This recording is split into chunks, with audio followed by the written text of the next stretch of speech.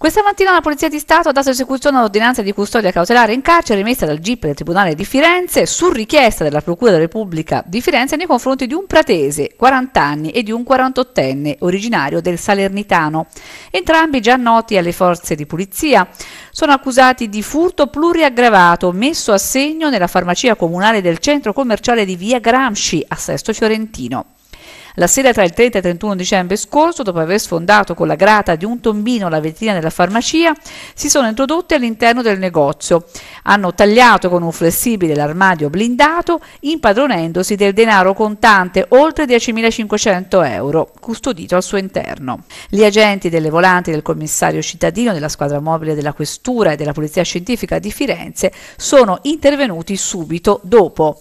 Dopo aver messo fuori uso il sensore del fumo installato all'interno, i ladri sono passati in azione con il flessibile, ma uno dei soggetti ha afferrato una cassettiera senza guanti, lasciando un'impronta.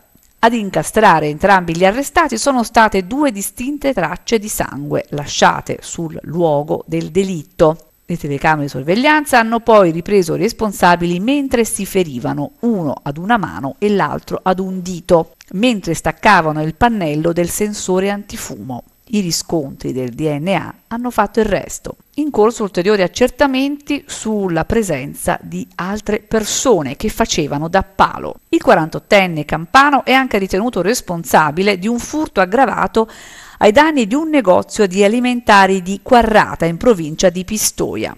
Gli arrestati si trovano entrambi al carcere di Prato.